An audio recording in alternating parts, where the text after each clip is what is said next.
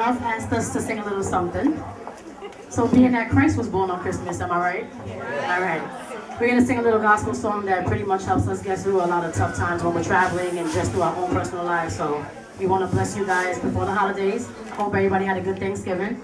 And we're gonna do a little bit of something, something. Ready? Give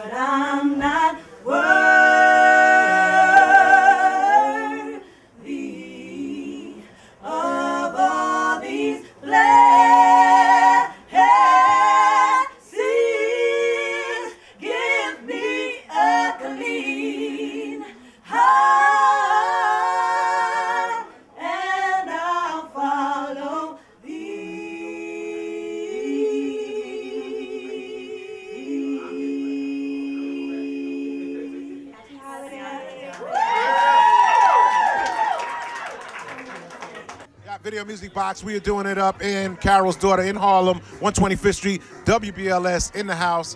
I guess it's uh, the top of the food chain now. That's where it's going down. That's going down. We're here with Uncle Ralph, so we know it's official. Carol's daughter, WBLS. We're just blessed to be here supporting young women and entrepreneurs doing their thing, and uh, it's a beautiful thing out here in Harlem.